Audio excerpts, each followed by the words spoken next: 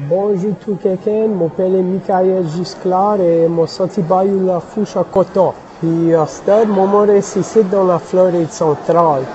Mon élevé à cause français la fouche avec, mon grand-maman puis mon grand-papa.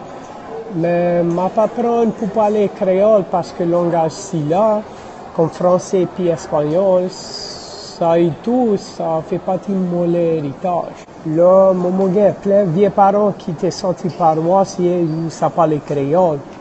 Puis l'autre raison pas prendre créole, c'est que moi j'aime créer des vidéos puis mimi en, en langage. Je crois ça bien important parce que n'y a pas assez de projets multimédia en, en cours dans l'internet. Moi, j'ai aussi chargé créole avec français avec mon. Le langage n'a pas qu'à continuer s'il n'a pas passé ça hier. Même temps, parler créole, on dans la maison, là, pas détaché. Oui, c'est vrai, tout ça commence côté nous autres, on, on dans la maison, là.